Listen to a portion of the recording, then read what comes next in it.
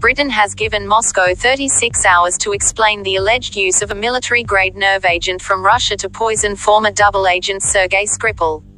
PM Theresa May is giving an update to MPs on the incident.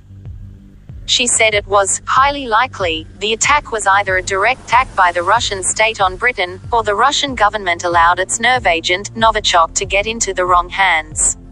The government has concluded that it is highly likely that Russia was responsible, she said. Either this was a direct act by the Russian state against our country, or the Russian government lost control of this potentially catastrophically damaging nerve agent and allowed it to get into the hands of others. She added that Boris Johnson, the foreign secretary, summoned the Russian ambassador to the Foreign Office on Monday. He said Russia must explain which of the two possible explanations is the correct one.